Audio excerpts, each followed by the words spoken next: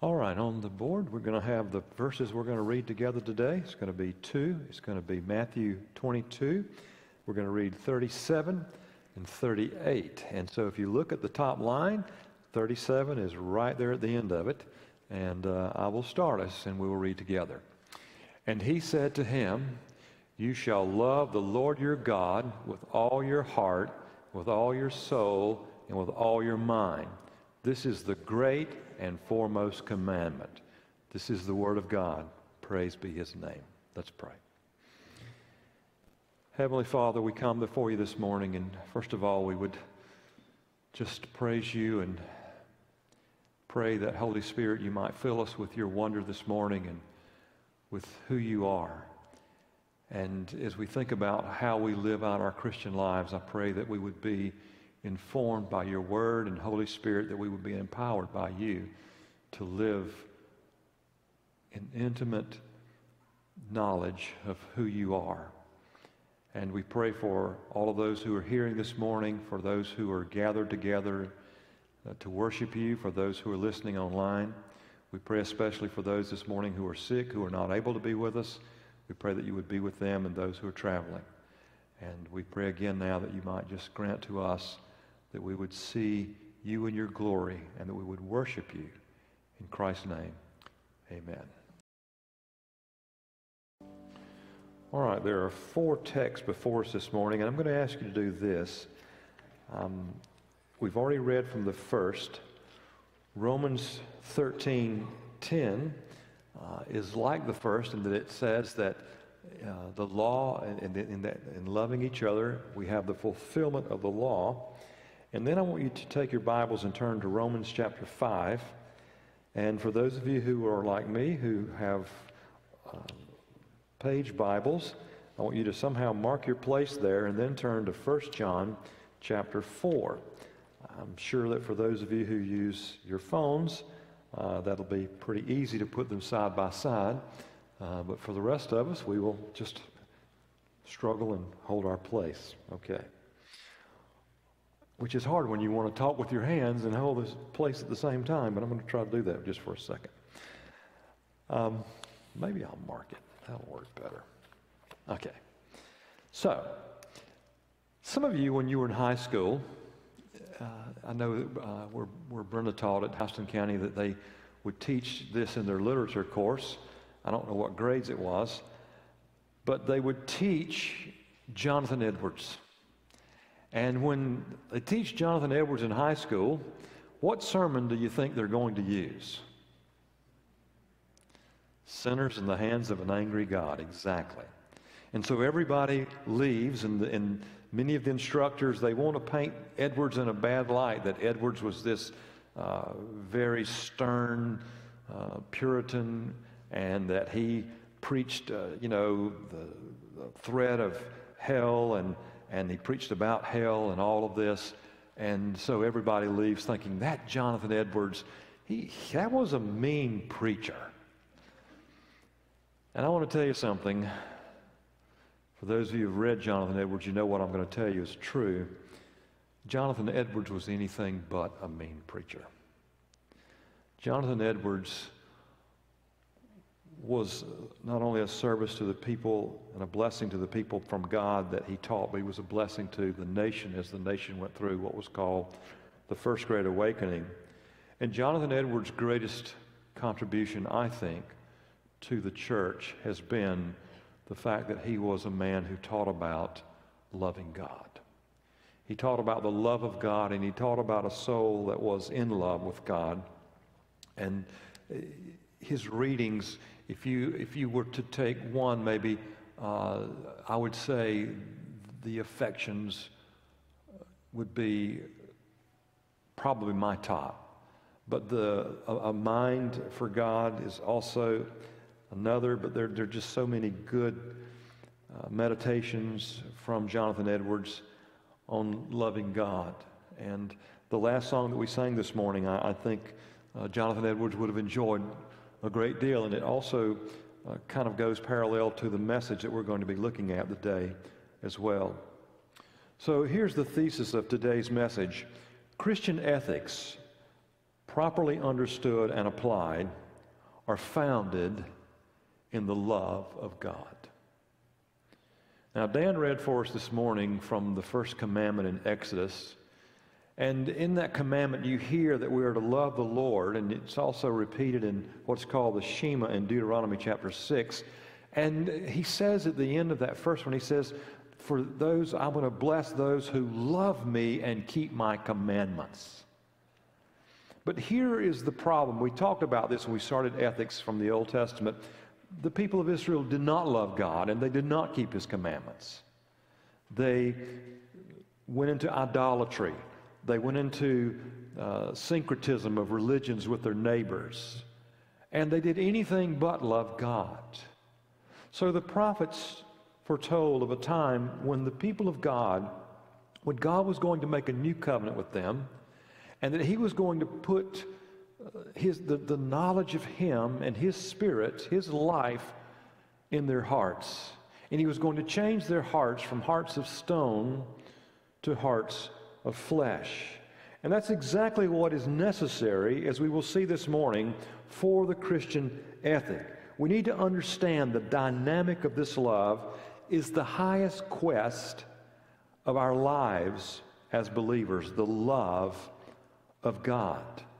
Now, in this message, we're going to ask two basic sets of questions in order to understand or get an understanding of the great truth of God's love. The first set of questions we're going to ask is this Who and why? Who and why? The sub question is this. So, the first thing is in your outline. Is this love that we're talking about the love of God or for God? Is it the love of God which would make us the objects? So we're talking about how that God loves, or we talk about the three great loves and, and loving God. When we speak of loving God, do we mean our love for God with God as the object? Well, the answer to that is yes. It's a both and. It is both. But now let me say this.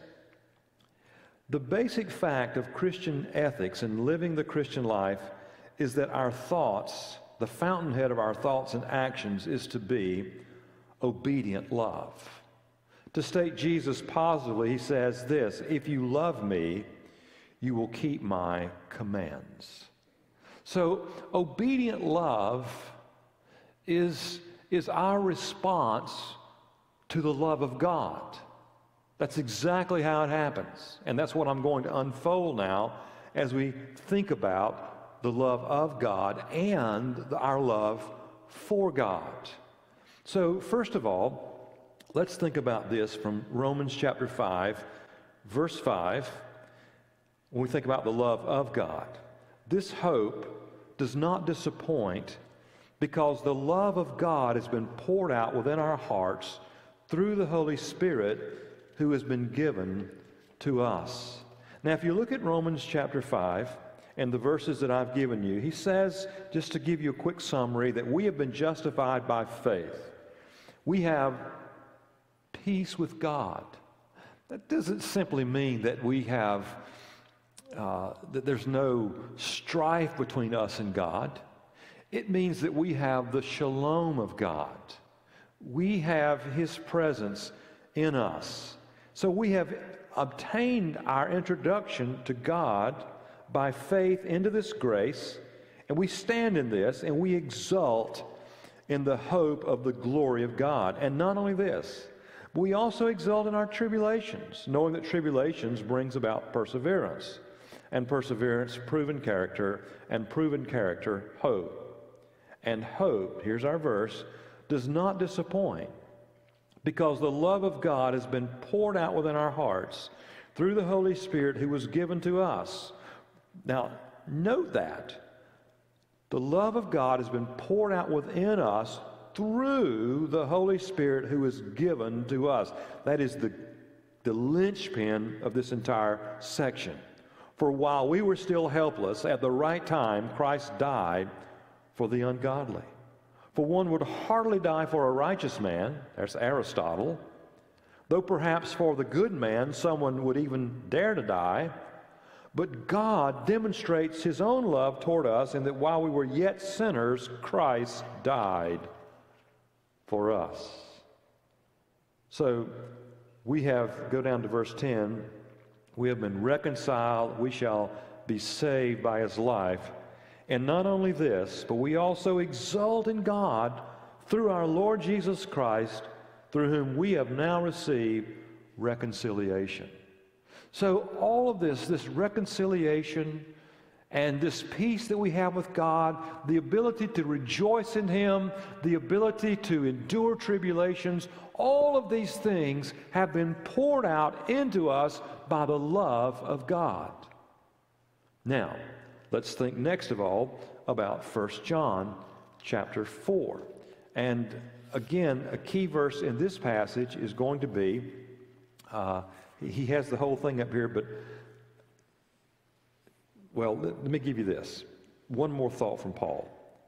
If anyone loves God, he is known by God. Do you see the, the cycle, how this works in the love of God?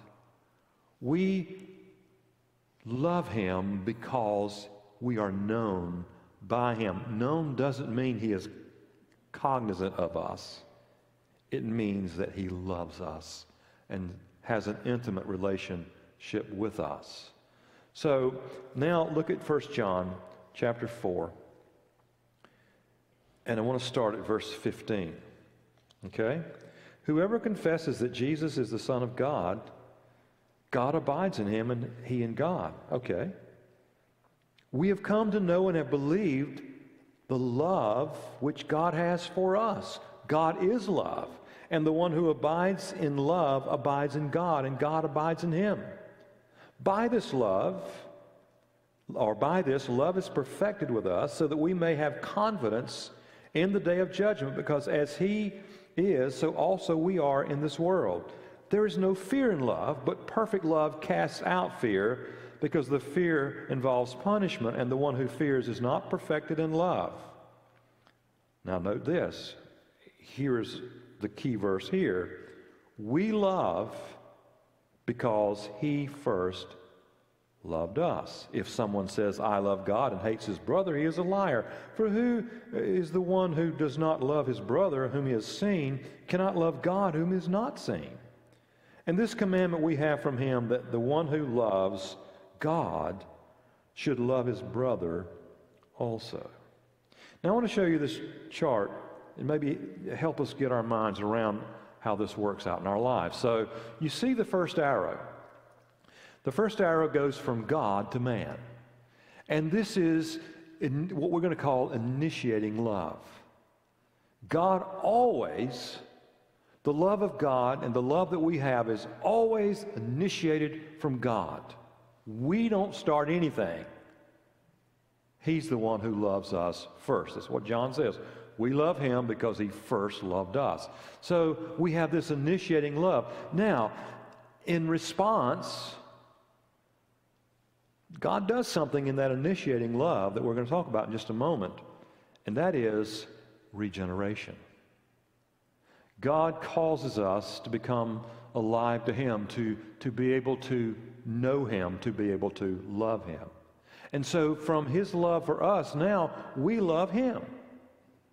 And that love is demonstrated in our response. Now, many of these are what we would call fruits of the Spirit faith, humility, obedience. Obedience and trust to me are, are the, the two sides of the same coin. If we trust, we obey. Reliance, gratitude, thankfulness, glorifying God in every way that we can. And of course, that neighborly love. So these are demonstrations that God has loved us, that we love God, and we live this out in our lives. Does that make sense to you? That's, that's how it works. That's, that's what the Bible teaches. So, this reciprocity of man's love for God depends on two essential ingredients. Let's just sum it up. Two essential ingredients. Number one, God's initial love for us. Number two, regeneration. So that you cannot live out Christian ethics. Now, you can be a virtuous person, you can have ethics. I wish more people had ethics, don't you? You can have ethics, you can have virtue, but you cannot live Christian ethics unless you are a Christian. Because you do not have the Spirit of God. Paul Ramsey sums it up like this He says, Christian love for God depends altogether on God's love for man in the Word made flesh in Christ. Him we love in loving God. Through him alone, we love God. And upon God's grace, reintegrating the individual. I love that statement. His grace reintegrating the individual causes our will so that for the first time, a person, listen to this, may resolutely and thoroughly love you can't love God. Go back to what Paul says in chapter 5. If there's not reconciliation between you and God, you can't love God. Because there's going to be there's going to be either guilt or animosity. There's going to be some reason, God, you have kicked me out of the garden and I'm trying to get back in and you keep me at arm's length. God, I don't even like you like Luther said. Love God, I hate God. And then he said, I felt my soul strangely warmed as he read from Romans chapter 3, verses 16 through 18, especially 17. You remember in Isaiah chapter 6, when Isaiah sees the vision of God, and he says, Wow, this is great. I deserve to be here. Right? Isn't that what he said? I should be here. After all, look who I am. I'm Isaiah. No, he didn't say that. He says, Woe is me, for I am undone. I live among people of unclean lips. I am undone. You know what that word literally means there? It means I am disintegrating. I am coming apart. It's chaos. The center cannot hold. Notice what the, the Ramsey's language is here. He says God reintegrates us. I love that. He reintegrates us. We are, we are spiritually broken. We are spiritually dead in our trespasses and sin. And what does God do? In regeneration, He reintegrates us into a whole person, a justified person who can now stand before God righteous in the righteousness of Jesus Christ. We know God through Christ. And now we can love Him because of what He has done. No wonder we can be grateful. No wonder we obey because the Spirit of God is alive in us. And that's what it means to live in this love of God, the love that we have from God, and the love that we have for God because we are regenerated and we can set our minds and our affections on Him. And by the way, the name of the essay I was trying to think about by Edwards is Religious Affections. Religious, I said affections, it's religious affections. So now let's move on to the second thing, the second set of questions how and what. And now we're really going to focus on some of the thoughts from Edwards. First of all, how can we show our love for God? Now, when you look at the scriptures, you look at what Jesus said. When Jesus said, Okay, what's the greatest commandment? That you love the Lord your God with all your strength, with all your mind, with all your soul, and then he said, and the second is this, that you love your neighbors yourself. Paul says in Romans 13 10, again, that the, the fulfillment of the law is this, is that we love our neighbors. So every time we see in the New Testament, it talks about God's love for us, And our love for God, many, many times, is expressed in how we love on a horizontal plane, how we love and help others.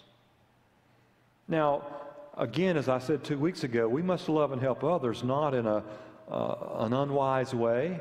You know, a lot of times people will ask you to help them, and if you do what they ask you to do, you're not going to help them, you're going to hurt them. So we have to be wise. The, the, the, the whole thing about neighborly love is our disposition that we will actively engage, that we willingly, that we want to really help people.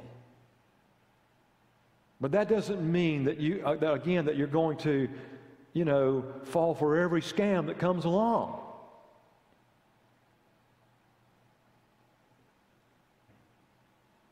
But you'll be discerning and open. I think openness is the key to help. So, part of our love is, again, this horizontal love. However, it's not just horizontal love. Because if you begin to think that the, you know, the only way that I show my love for God is in what I do, then I think before long you'll be part of the social gospel.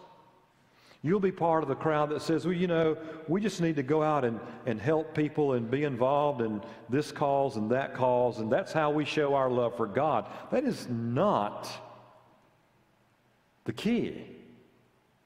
It's not the, I would say even this, I would say that is an ancillary of our love for God, that because God has loved us, He has poured His love into us, certainly we're going to love our neighbors. And I was reading one guy, it was Richard Mouw, and he said, you know, the Christian is like the state in a sense. We have two kinds of, of loves. You know, in our, in our government, we have domestic affairs and foreign affairs, right? So the Christian has domestic affairs and foreign affairs. In domestic affairs, in our domestic love, we love each other in the church. We love our fellow believers as, as the New Testament enjoins us to, commands us to, to love each other. But then we also have our foreign policy as well, and that is that we're, that we're to love the strangers, that we're to love unbelievers. And not just in a manipulative love to get them to do what we want them to do, but in a genuine love that will build them up and help them and be discerning. But again, at the end of the day, when you get to heaven, you are not going to be witnessing to people. You are not going to be giving to causes. You are not going to be helping people who are in trouble. You're not be doing any of that when you get to heaven. You ever thought about that? You know, when you stand at the ocean and you think about how small I am and how large the ocean is, and you get this sense of your finite nature. Well, you know, this life compared to the life to come is, is a vapor, the Bible says. Now, what you do in this life is very important as far as the life to come. It's extremely important. We can't undersell that, can we? But I'm saying this in your life to come, that life is life without end and in that life, you are going to spend eternity loving, coming to know more and more about God, and worshiping God. So I think in this life, if it's going to be the most important thing then, it ought to be the most important thing now, and that everything else I do should come out of that. We're going to call this the mystical sense in the way we love God. And again, Edwards helps us a great deal here. We are to love God for, and I'll explain this word in a moment, the complacency of our soul. In your program today, there's a quote from Jonathan Edwards, and I just want to read this quote and just, just kind of hit a few high points with you on the quote. He says it was from His, that is God's value, for God's eternal glorious perfection of wisdom, righteousness, and that He valued the proper exercise and effect of these perfections in wise and righteous acts and effects. Let's just stop there. So, this is what he's saying God knows who God is. He has no false illusions. God cannot hold a false thought. Everything God knows is reality, and God knows who He is. He knows of His perfections, He knows of His glories and His delights, and these things exist in the Trinity.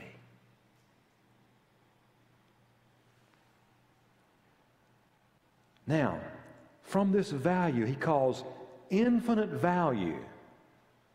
The infinite value for his internal glory and fullness, he valued the thing itself. He values his own glory. He values his own fullness. He values his own perfections. You say, well, God is a massive egotist. No, he's not. Egotists are people who value things they don't possess, that are not really true about them. God is God. If He didn't value them, He would not have created. Now, think about that. Had God not valued these things, He would not have created because these things He communicated, which is something of the same extant in the creature. So God, out of this fullness and out of this infinite value, creates. He creates the heavenly creatures and the angels. All of these things that they might share this infinite glory. Now, He doesn't give them God likeness, He's not making little gods but he is sharing what is called incommunicable attributes. They can never be God, but they can have attributes like God, just like we when we love.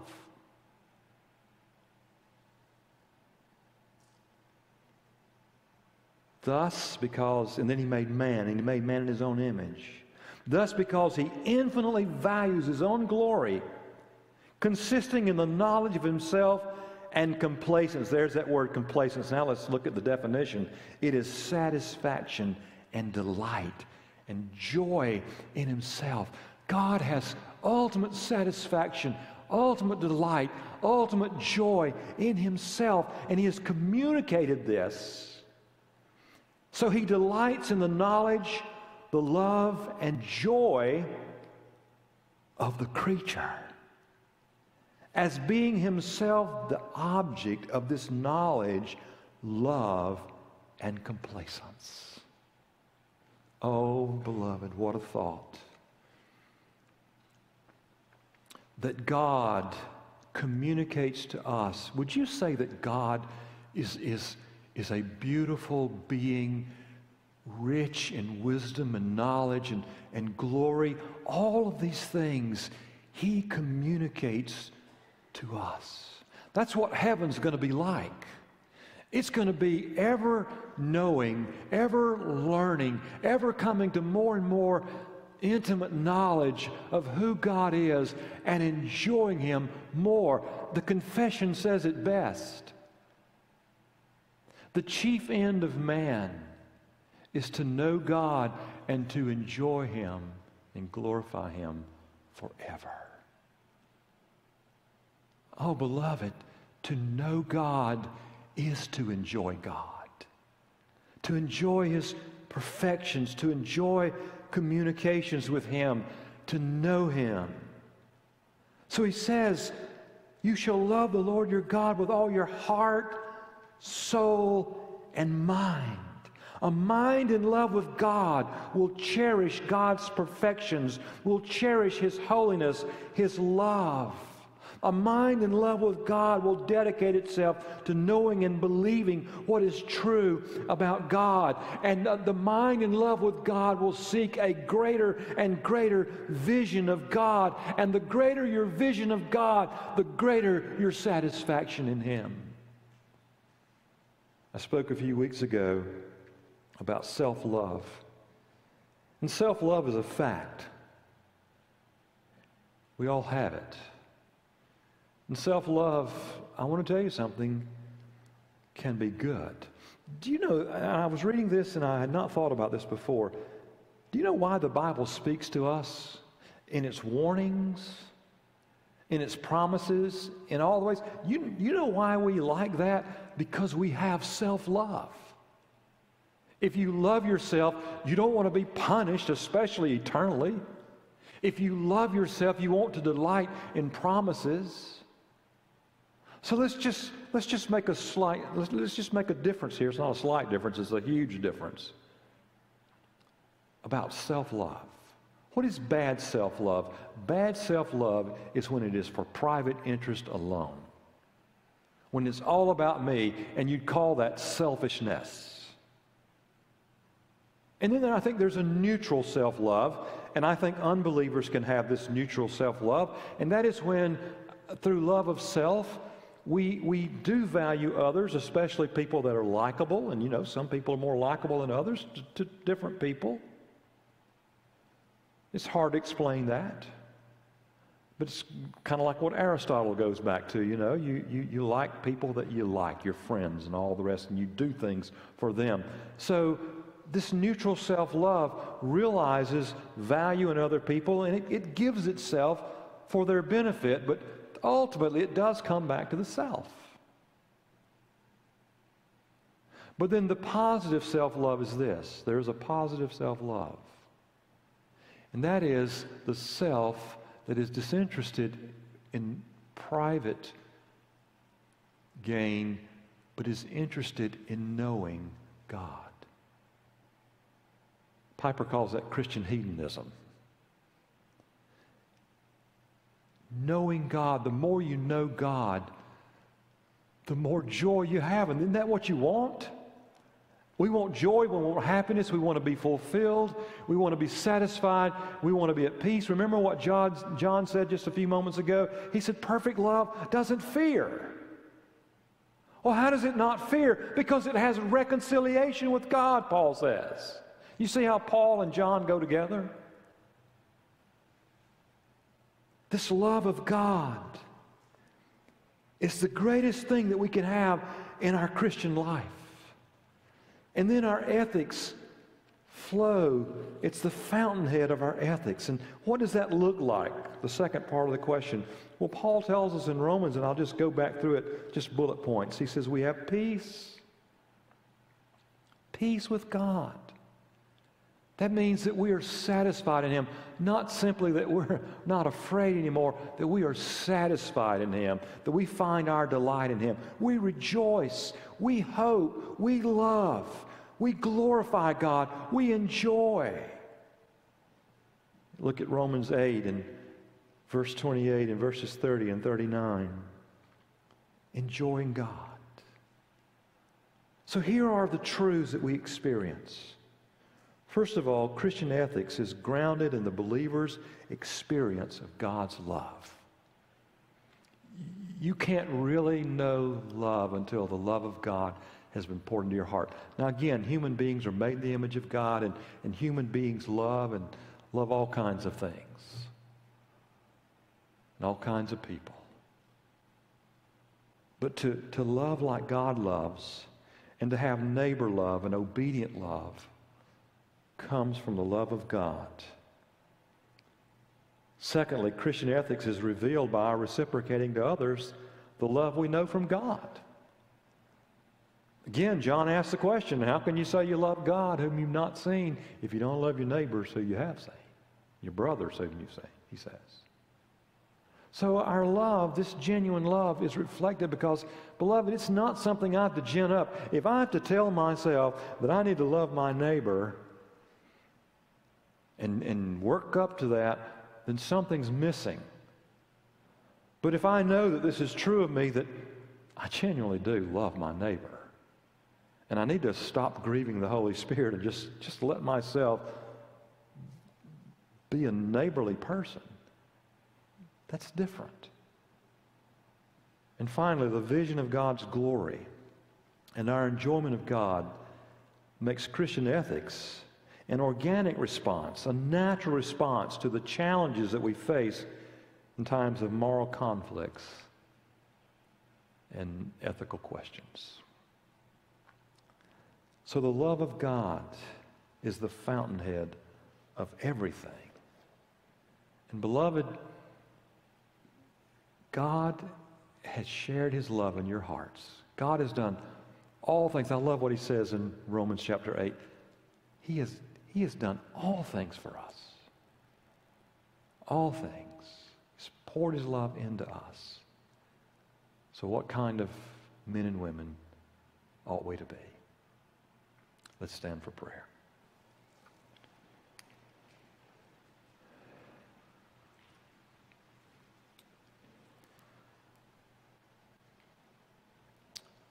Oh Lord, we come before you this morning and truly the highest thing we can consider, the most blessed thing, the most blessed person, the most blessed pursuit is to pursue you with our minds, to read and enjoy your word, to meditate over it, to think about, Lord, how you've blessed us to be seated in heavenly places, to think back over the blessings of our lives, especially the spiritual blessings that you brought to us, that we, that we know you to start with, that we love you, that we, that we love to hear your word proclaimed, that we, we love to see people come to know you. We, we love to see our brothers and sisters grow in Christ, that these things give us, as Edward said, complacency, not not a status quo,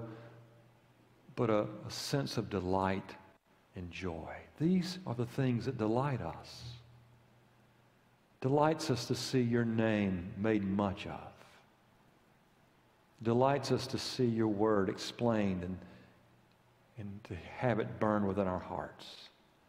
All of these things delight us and, and help us to understand that our love for you is not just expressed in loving others, even though it is, but is also expressed in our loving you directly, spiritually, and again with our minds and the core of our being, our hearts. So, Holy Spirit, we would ask you this morning to encourage us, and draw us, and lead us, and empower us, enable us that we might pursue first of all, the knowledge of God. Lord, let our love for you burn in our hearts. And then we know that our hearts will also desire to live for your glory, to live with humility, to live with faith, and, and, and to be virtuous. These will be things that we will want to do because of who we are in you. And to see our neighbors flourish these are all things that we rejoice in. As Paul said, give us hearts that weep with those who weep and rejoice with those who rejoice. most of all, may our vision of you grow brighter and brighter and warmer and warmer as we pass through this life. In Christ's name we pray. Amen.